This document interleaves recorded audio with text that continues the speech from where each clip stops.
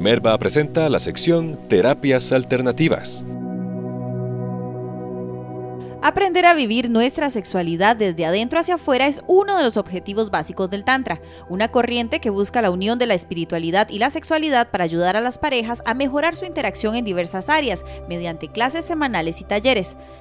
Una serie de ejercicios de meditación, respiración y posturas en este tipo de yoga ayuda a que cada persona aprenda a disfrutar de su sexualidad más allá de lo físico.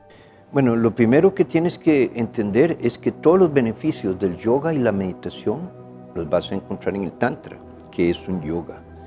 Y los beneficios son muchísimos, ¿verdad? Porque es el antídoto más natural y completo que existe del estrés, la depresión y la ansiedad, que son las tres causas principales de búsqueda de ayuda profesional en el campo médico actualmente.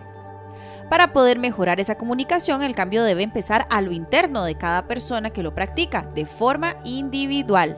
Te va a convertir en una persona más pacífica, vas a tener más paz interior, vas a tener más silencio interior, tu salud va a mejorar en general y una de las cosas más importantes de cualquier tradición espiritual verdadera, como el Tantra, es que te va a ayudar a responder sin reaccionar y por ende te va a convertir en una persona más libre.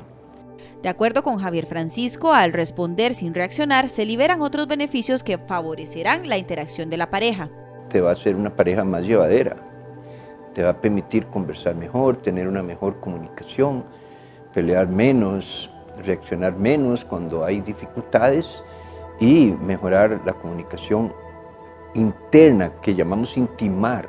O sea, te va a permitir contactar desde el alma a la persona. Al desarrollarse estos beneficios resultará más fácil el autocontrol en situaciones complicadas propias de la convivencia en pareja, además de favorecer la libertad, el respeto por la individualidad del otro, la comunicación, la interacción, la seguridad y el control de los celos. Esta práctica es recomendada para personas con limitaciones físicas.